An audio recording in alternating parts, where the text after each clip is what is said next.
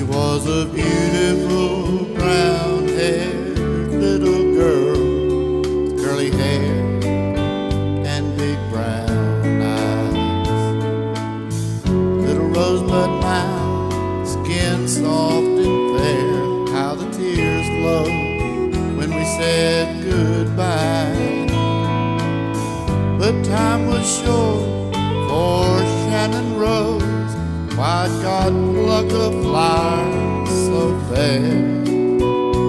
When they dragged the lake and found our sweet rose, all her family